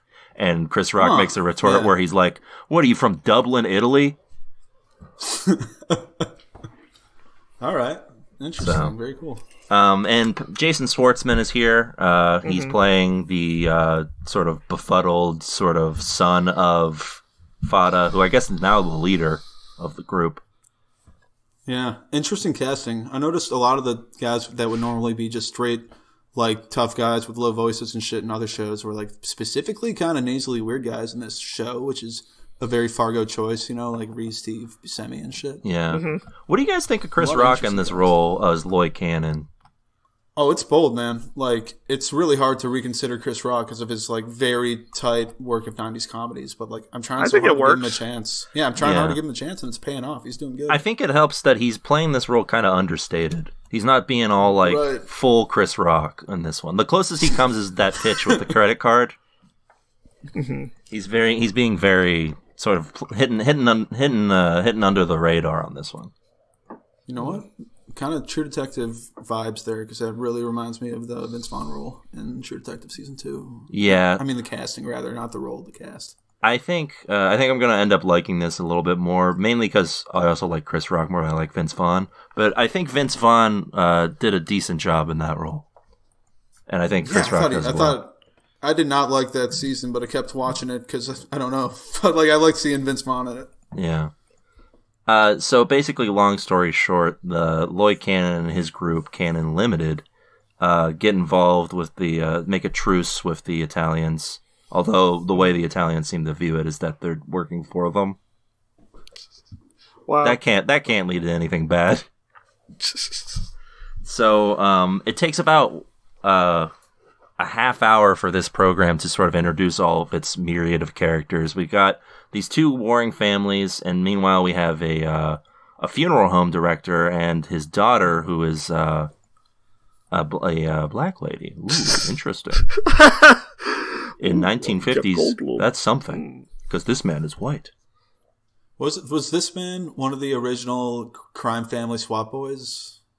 I'm not I couldn't sure. track of that. Because there's a bit I where kinda- she comes into the kitchen and her mom and dad are with the Chris Rock's gang. Yeah, isn't it like implied that grown up kind of mild librarian whatever vibes dude that he was like from the gangster trades thing? I don't know. I, know. think I think you might be Could've- right. I'm not sure. Stare, you got that? I feel like he was a character with a history behind that on the show. My brain was also dumb and didn't get it. All right, Sorry. All right. You guys ever analyze TV on the show? I'm just kidding. No. No, we only talk about it in blame in in sort of uh, plain fashion. And then there was a last man standing. Tune in. So uh, yeah, we get like 30 minutes in, and then we finally get to like the big crux of the whole story here, which is that uh, Don, Don Fado is with his son. They're ha- or Fadda. They're having a, com- a pretty tense conversation where uh, Jason Schwartzman's character is like, "Listen, uh, just give me a chance, and I'll like put these people in line." And the dad's like, "Listen, I, I don't care." So um, this is kind of like a, a Fargo bit here. I'm not sure how you guys feel about this. I'm kind of iffy. Uh, but there's this bit yeah, here. that's a word. there's this bit here where they seem to be like showing, like heightening the intensity to like Godfather levels, where you're like you're expecting like a big like shootout to happen, and then like the it seemed, and then also it seems like Don Fadda's about to have a heart attack, like you know the Godfather, but then he just has a Yeah. huge fart. It was a complicated sequence with a lot of turns in it. Yeah. Yeah. I, I think the I part that takes me out of it is this huge fart joke, though. which is like, am I watching an Adam Sandler Yeah. comedy all of a sudden? This doesn't I feel thought, like. I thought for a second Yeah. I thought he just died and that's why he was shitting himself.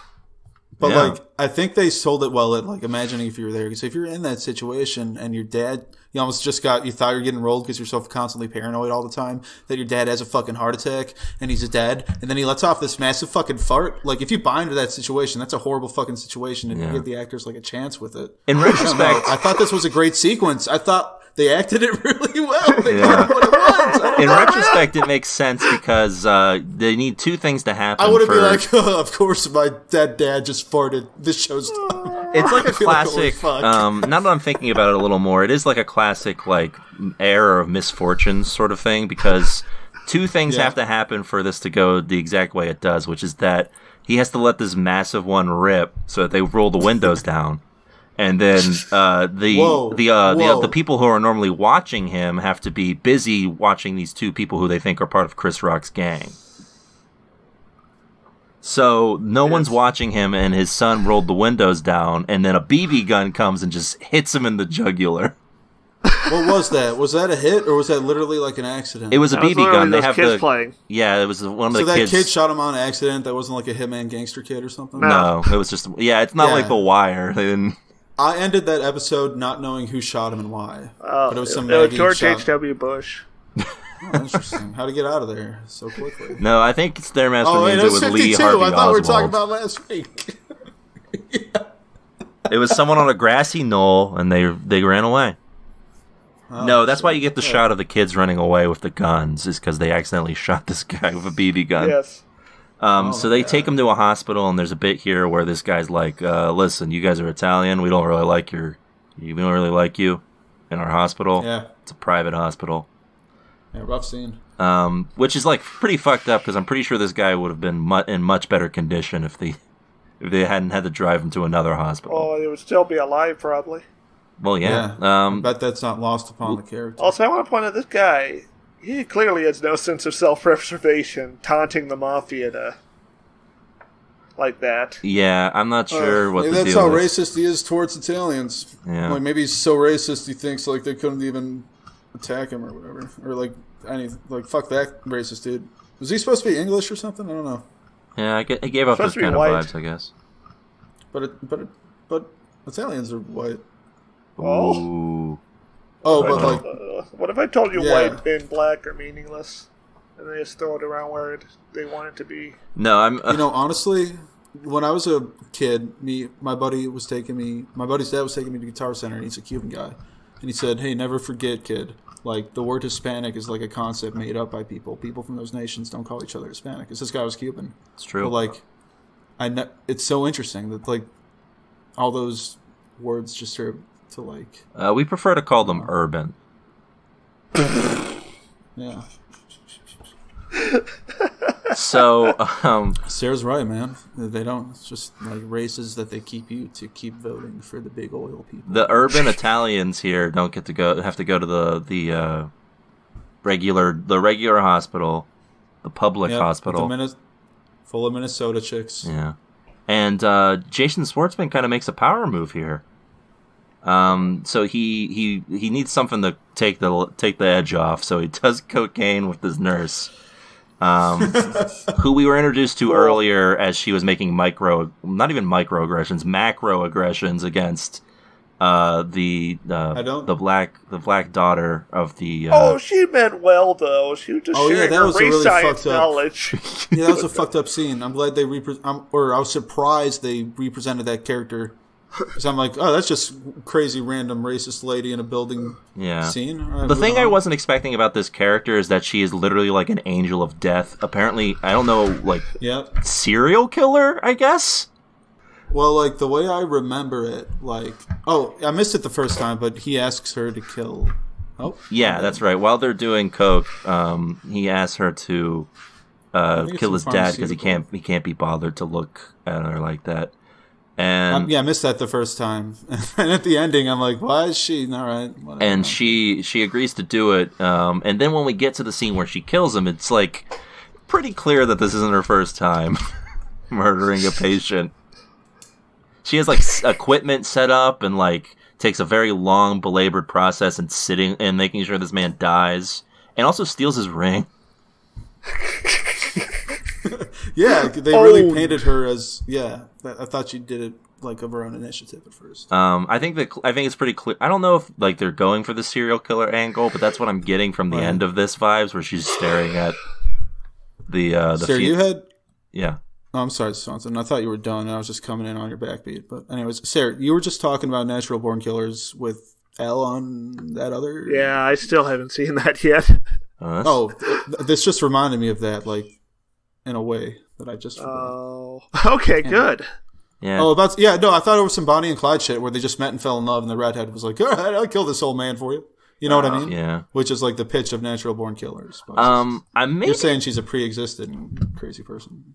I don't know if the idea is that she might be in. She might be down with killing this guy because he's Italian. she already does. Oh, I seem, thought she was just like, "I love this boy. I'll kill for him." Or whatever. I think the uh, maybe that's the idea is that she was killing this guy because you know he's like uh, he's like dirty to her. Yeah. Uh, oh uh, no, I, I just thought they fell in love, and that's why she did it. No, I don't. I'm not getting any vibes it. of love between the two. Yeah. Well, I thought that. I'm like, I'm not buying it, but all right. I kept watching. Um, My bad. Thanks. But yeah, the mo- the ma- that's really the majority of the show. There's a bit here where Chris Rock tries to sell credit cards, which made me dive into the history Oh. of credit cards and find out that they weren't really Yeah. prevalent until 1958. So this tracks for the show.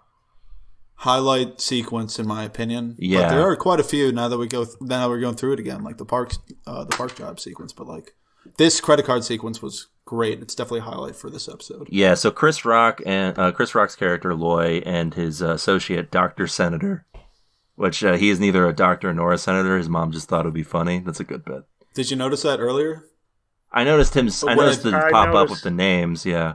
Yeah, the names popped up, and actually was like, wow, I was glad he showed up later. Um, but they're selling a bit here where they uh, they're like, listen, you know, people want to pay for stuff, but they don't want they don't necessarily want the money right now. Why don't they pay? Uh, they don't have the money right now. Why don't they pay on a credit card? And he hands them this like metal card, and the guys and they're like, maybe Yeah. we'll make it on plastic later. Who knows? Um, Really great shot. Like him and Doctor Senator. It, it shows that like Doctor Senator's like a way super smart dude, and like they have a perfect pitch like coordinated between them. Where this guy comes in on this sentence, and then he comes back. Like you can tell they've done this pitch to like every fucking bank in the state or whatever. yeah, because they're so killer at doing this fucking pitch for this credit card, which is inherently and obviously great idea. I mean, for a bank. and you can already tell where this is going the moment that he says he's from college or he, he like got a he went to a college and the guy's like yeah, Atkins like oh the black college Yeah. That's when you know this is just some asshole having a laugh or whatever. Yeah. Thought this would be a funny thing to do on his lunch break. Or so they come up with this golden idea pretty much like the credit card it's an idea that is like whatever. the credit card. yeah like to be fair, uh, like this idea was, isn't like something that Chris Rock's character invented. The credit card, uh, and it was in like infancy stages and other things already at this point. It's been it's been around since like the nineteen, the beginning of the nineteen hundreds. But this wasn't Oh, called just- a credit card. Yeah. Um, I just bought into it. It's like obviously like the best idea someone could invent. yeah, but also it plays into this business idea of like, of course, the credit card was pitched by someone and then stolen. Oh yeah, dude, just like chicken nuggets in The Wire. Exactly. Yeah, shit. Or Um, you know, the chicken nuggets guy actually was very rich. oh, was Because it, wait, did David Simon write it knowing that too? I think he just made. Yeah, I Dude, don't think if- he knew. Dude, he's playing higher than you, man. I think You're David still below Simon David probably Simon. knew, but I don't know if the character knew. Yeah, so Dave, so it's not like The Wire's dumb. It's like, no, dude, he got your well actually, and he thought about it a long time before you, and it's actually. Okay.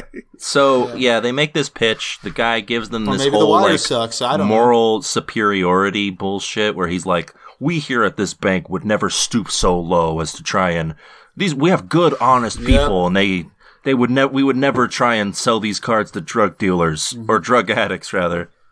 Like the most perfectly opposite thing he could have said was every sentence he said. Yeah. And then he's like, "All right," uh, and then he's like, "I don't. I'm not interested," and they leave. Um, But the camera does draw in for a second on the banker. Like it draws in like a Hitchcock, like the thing where you step out and zoom in Simo or whatever, and it draws in on him. And uh, he actually considers it for like two beats, and you see it. But then he's like, "No, of course not, because he's fucking racist." Yeah. Like, Yes. and that's another soundtrack point. Is it? It kind of holds the soundtrack on that Hitchcock zoom, and then once he decides to be a racist piece of shit, there's another like soundtrack motif of like this lazy crawling bass line, which like the guitar, it's very underproduced, very chill, but like if you hear it, it's such a good choice. And uh, so once again, ups to the sound design and a great sequence. and yeah, that's the thing. This is like, uh, I I, I liked Chris Rock and and all of this, but this was like the standout scene for Chris Rock. Like he got to show the he got to show the stuff. Oh yeah, yeah. This is where I'm like, all right, Chris Rock, I got you, man, because it's such a crazy, like uncut gems type of cast. But like, this is a scene where I'm like, all right, Chris, dude, I'm for sure, I'm giving you a shot. That was a great sequence. So um, that's outside of that, we do get a shot of uh, a, a brief scene with Chris Rock and the rest of his family. Um, there's a bit here where uh, we get to see the uh, we get to see Don Fadda get killed. That's all horrible um, for him. Yikes! I'm spooked. Yeah, that that was- that was bad. Uh, and we end here with um, what do you guys think of the this this funeral home? I'm sure it's like a thing that's going to play into the rest of what's happening, but like right now, it, the the character of uh, uh, I think her name is Ethelrida, who is um this uh this young black woman who's going to school. Uh, her father is um, she has mixed race parents who own this funeral home, and uh, the show the show ends with her having this conversation with her father talking about their financial problems, which I guess is why they might be hooking up with uh, Chris Rock's group. So this is simultaneous because I kind of lost track with all the time jumps. I couldn't tell this was a contemporary event. Yeah, with the uh, reason Chris that they have her narrating the history is, I guess, because she's doing it for a history assignment. Right. Oh shit. Yeah, yeah. Because it's it's like it's a very layered show, and like rappers like that. Yeah. Good, good, good pick, Swanson. Um, and so they, they the sh- the show ends with the um the nurse lady staring at them from her window, and that's unsettling and can't end anywhere good. Um. The end. But yeah, I mean that's pretty much it. What did you guys think of this this first episode of season four of Fargo?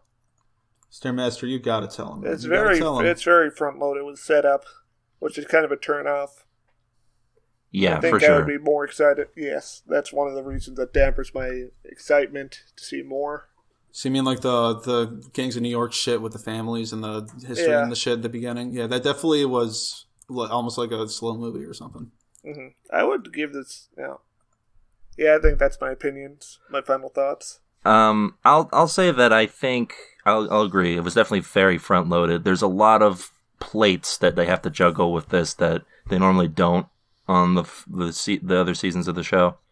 Um, and I, I'm interested to see how and if they can juggle them. I would say they did a good job of introducing Chris Rock's character. They did a good job of introducing Jason Schwartzman's Oh, yeah. character. The nurse lady is sort of a mystery right now. All the other Yeah, characters, I'm not sure if they're going to be able to invest the time in these uh, 11 episodes in total for the season to sort of make it worthwhile to have this big of a cast. But I mean, that is like 11 hours, man. Even like Ben Hur wasn't fucking 11 hours. I guess it's true. I mean, that's a lot of time to explore characters. You know what I mean? Um, so, do you think he's going to meet Jesus in this? Is that what you're saying?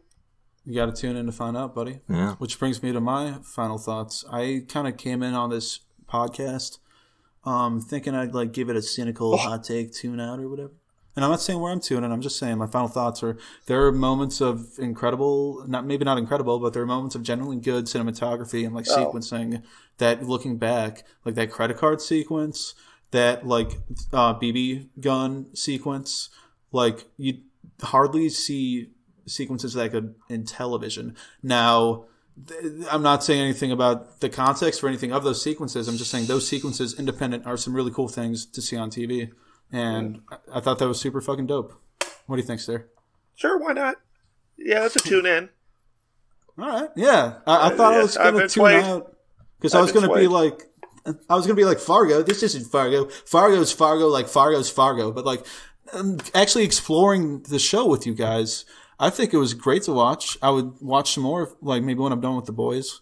And just, I really appreciate those good touches in sound design and uh, directing and acting. But like, this is actually a good product, so I'm on board. And now that you've broken your Fargo loop, uh, I feel Yeah. like maybe you can go back and we can try try that that season two again. You know, Oh yeah, maybe someday. Eh, you know, time. But Why don't uh, try True Detective season two again, you motherfucker. well, Fargo season two is way better than True Detective season two. This feels more like True Oh, yeah. Detective season two, although even then I would say this is better. Uh, it's got an interesting Whoa, dynamic whoa. to it. Fargo season four is True Detective season two coming from Swanson. That's a splat, says Swanson. Uh, I don't mean, I'm I'm he tuning. I'm giving this a light tune in. I'm not sure where Like, this is tune in, going. baby!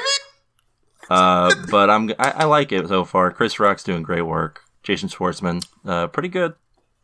Can't complain. Three of a kind, man. I mean, I would have to be a quite a cynical motherfucker to give this show a tune out now that I've explored it with you guys. Yeah, and that's uh, that's a tune in on season four of Fargo. Geo, Uh-huh. anything that you feel like uh, you feel like plugging, giving giving a shout out to before we sign off here? Oh, I don't know. Tell people you love that you love them. That's about it. Oh, all right. Uh, yeah, uh, as always, of course, if you want to support us any way you can, uh, head on over to our Buy Me a Coffee page, Buy Me a Coffee slash TV Tuners, and uh, Oh, it's donate. a great place to go. Yeah, another great place to go is our Discord. Tons of great conversation over there. Uh, you can also find that on our Buy Me a Coffee page.